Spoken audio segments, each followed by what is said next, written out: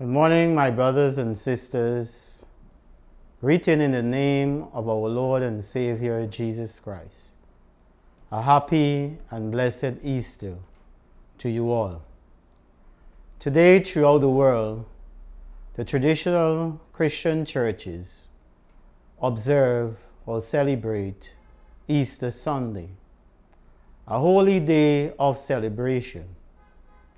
Easter Sunday or Resurrection Sunday, as it is called, is a festival and a national holiday commemorating the resurrection of Jesus from the dead, his victory over the grave. This memorable occasion occurred on the third day after Jesus' crucifixion by the Romans at Calvary. It is the conclusion of the Passion of Jesus, preceded by Lent, a 40 days period of fasting, prayer, and penitence. Christians in the traditional churches refer to this week, the week before Easter, as Holy Week, which contains the days of the Easter Triduum, including Maundy, Thursday, the Last Supper, Good Friday, the crucifixion of Jesus, and Eastertide or Easter season begins on Easter Sunday and lasts seven weeks, ending with the 50th day, Pentecost Sunday. Last week, I asked a group of children age 8 to 11 when they heard the word Easter, what comes to mind?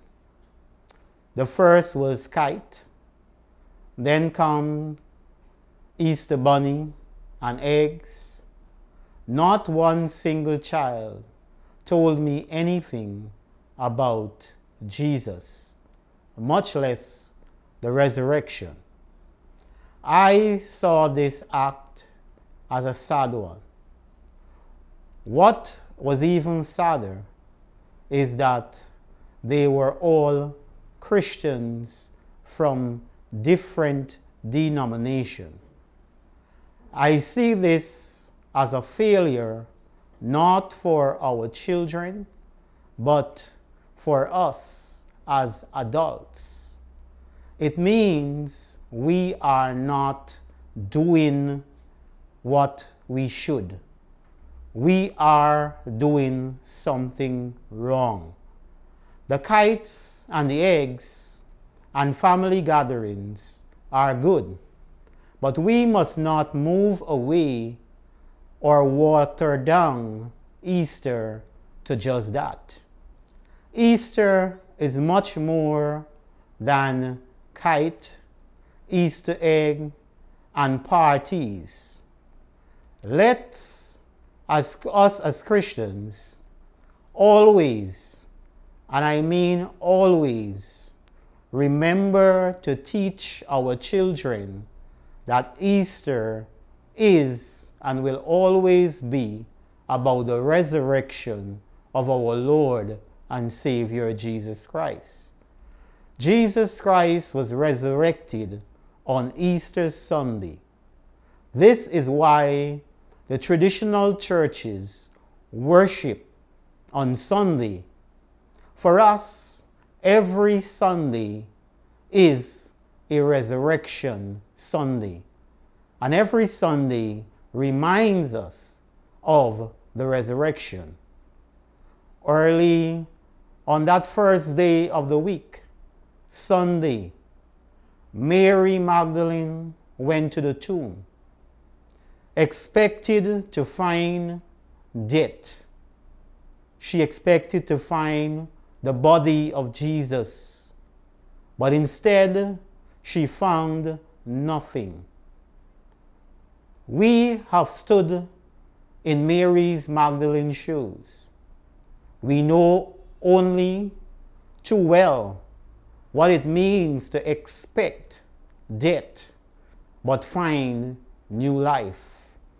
We know what it feels like to follow on Good Friday when Jesus was crucified, only to be confronted with Easter Sunday.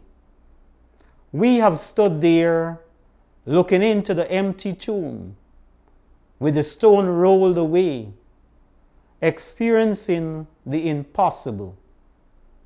The thing is, we don't go looking for resurrection. Resurrection finds us. Jesus' resurrection is about God loving us so much that God is willing to go to any lengths to find us in all the wrong places. Because, like Mary, we go looking for God in the familiar places where we expect to find Him. Some of us, we expect to find Him in church only. We don't expect to find Him in a bar or in certain places that we deem not God-like. But Jesus' resurrection, God find us when we are down and out, when we are at the end of our rope, when all hope seems lost, God rolls back the stone that binds and confines us God stands waiting with a familiar voice to call us to a new life. He says, Go and tell. And when, as Christians, we refuse to tell others about the resurrection, when we refuse to tell or forget to tell our children about what Easter really means, it simply means that we are not following what Jesus give or say that we should do. Resurrection has no meaning, no purpose, no place, unless like Mary Magdalene, we go and tell it. When she saw that the tomb was empty, she ran back and she told the other disciples, that Jesus was no longer in the tomb. This is exactly what we need to do as Christians. We need to go and tell the world that Jesus is no longer in the tomb. Resurrection has no meaning if we cannot share the good news of Easter to the living world. Resurrection has no meaning unless we are willing to live as Easter people. Go and tell of your life, transformed by the one who healed the sick and cure the lame. Go and tell of the one who bless the broken and welcome the outcast. Go and tell that do this in remembrance of me is real. Go and tell that God has work for us to do in our neighborhood, in our streets, in our different villages, and even in Guyana. God has work for us to do.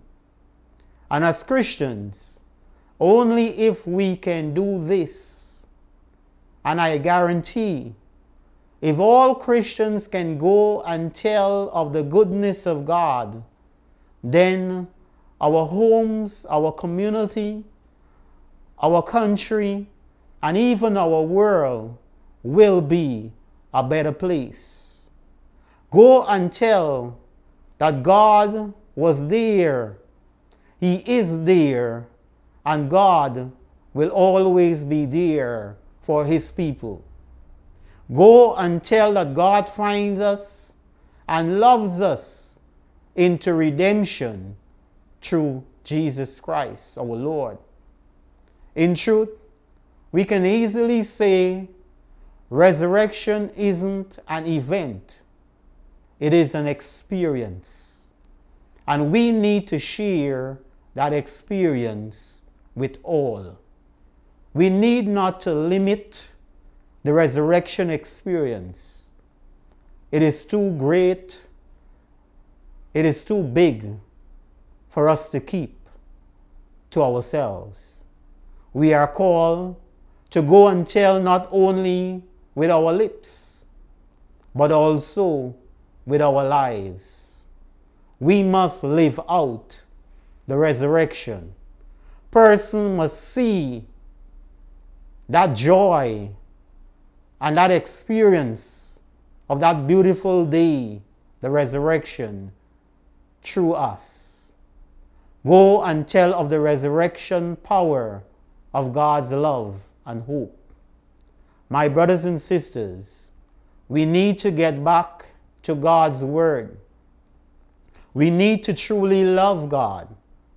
We need to truly trust in Him. We need to truly have faith in Him. We need to remember that He is King of kings and Lord of lords. And if He can defeat death through His resurrection, then He can defeat anything. Nothing is too great or too big for our Lord to conquer. He conquered death. He was resurrected and he lived. Including what we are going through. God can take us through that. This Easter, may you open your whole self, heart, soul, mind, and body to God's inspiring call to new life and renewed love. May you feel God lowering you, prompting you, calling and encouraging you each and every day of your lives. Resurrection is not only about Easter Day, and in fact, in the traditional churches, Easter is not just one day. Easter is a season. So it's not only one day we will talk about the resurrection or Easter. We have a whole season. My brothers and sisters, let us use Easter 2022 to ensure that all who we come into contact with know that Easter is about the resurrection of Jesus and tell them about the good things God has been doing in our lives and what He can do for them. We have seen the Lord. Hallelujah. Amen. Happy Easter to you all. The Lord is risen indeed. God's blessing.